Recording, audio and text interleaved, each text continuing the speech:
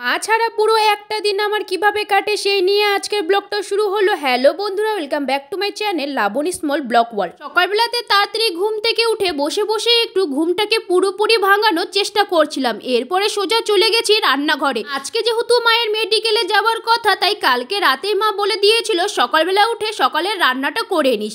মা দেখছি এখানে ডালটা বসিয়ে রেখে দিয়েছে, সাথে ভাতটাও করে রেখে দিয়েছিল। এরপরে মা চলে যাচ্ছে ভাইয়ের সাথে মেডিকেলে। আজকে মা মাসি রিপোর্ট করানোর আছে। এখন তো আমার প্রতিবারের মতন সকাল সকাল যায় না, কিন্তু মাঝে মধ্যে হঠাৎ যেতে হয় মেডিকেলে মাসি রিপোর্ট করানোর জন্য। নয়তো এখন দুপুরবেলাতেই যায় সে দুটোর পরে। তো যাই হোক মা যেহেতু মেডিকেলে চলে গেল আমি দাঁত ব্রাশ করে রান্নাঘরে চলে এসেছি রান্না করার জন্য। আগেই বললাম মা এখানে ভাতটা রান্না করে বেগুনটা ভেজে রেখে এখানে ডালটা বসিয়ে রেখে দিয়েছে। আর বাকি ডিমের সবজি করতে হতো আর ডালটাকে সম্বাদ দিতে হতো তো সেটা বাকিটুকু কাজ আমি করে নেব। তারপরে ঘরে যা যা কাজকর্ম আছে সেটাও আমি করে নেব। তো সকাল পাঁচটার দিকে উঠে ঘরে সমস্ত বাসি কাজ করে নিয়ে স্নান করে পূজাটা দিয়ে নিয়েছিল। আমি মাকে বলেছিলাম পূজাটা তুমি দিয়ে নিও। নয়তো রান্না করে ঘরের সমস্ত কিছু কাজ শেষ করে পূজা দিতে দিতে অনেকটাই সময় হয়ে যায়। মা সেই কথা অনুযায়ী পূজাটাই আগে সবার প্রথমে দিয়ে শুধু ভাতটা করে রেখে দিয়েছে। আর আমি এখানে তাড়াহুড়ো করে রান্না করছি, কারণ বাবা যাবে নটার দিকে কাজ। আর বাবা আর ভাই কাজে চলে যাওয়ার পরে তেমন কোনো তাড়াহুড়ো থাকবে না, কারণ তারা কাজে চলে যাওয়ার পরে একা ধীরে সুস্থে সমস্ত কিছু কাজ করে নিতে পারব।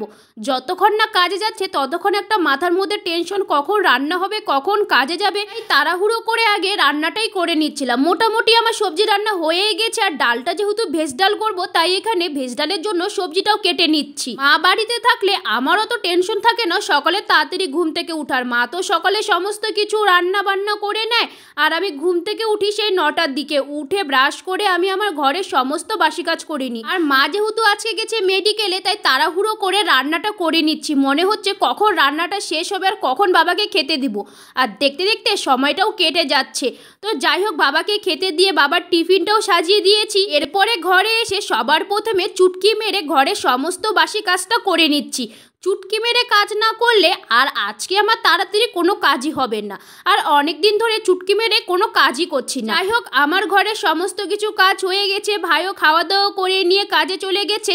তারপরে আমি বসে পড়েছি এক থালা পান্তা ভাত নিয়ে। কালকে রাতে মাকে বলে দিয়েছিলাম, আজকে কিন্তু আমি পান্তা ভাত খাব। তাই তো এক থালা পান্তা ভাত নিয়ে মনের মতন সাজিয়ে নিয়ে বসে পড়েছি পান্তা ভাত খেতে। তোমাদের কাদের কাদের পান্তা ভাত প্রিয় অবশ্যই কমেন্ট করে জানিও। আর এই গরমে তোমরা কবার পান্তা ভাত খেলে অবশ্যই কমেন্ট করে জানিও। যাই হোক সমস্ত কিছু কাজ শেষ করে নিয়ে তারপরে স্নান করে যত কাপড় বেরিয়েছিল সেগুলোকে মেলতে দিলাম। আর মা যখন বাড়িতে থাকে, তখন কোনো কাজই কিন্তু আমি ঠিক মতন করি না। সমস্ত কিছু কাজ মাই করে, বলতে পারো।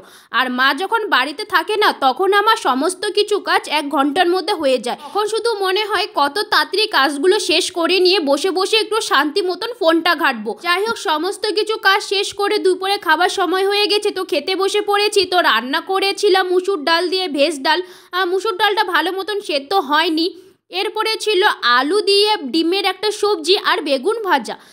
তারপরে খাওয়া দাওয়া শেষ করে দুপুরে ভাস থেকে পড়াচ্ছিলাম আর সন্ধ্যার সময় তারপরে বুনুদেরকে নিয়ে বসে পড়েছি পড়াতে। যাই হোক এইভাবে তো আমার সময়টাই কেটে যায়। দুপুরে এক ভাস থেকে পড়াতে হয়, সন্ধ্যার সময় আবারও বুনুদেরকে পড়াতে হয়।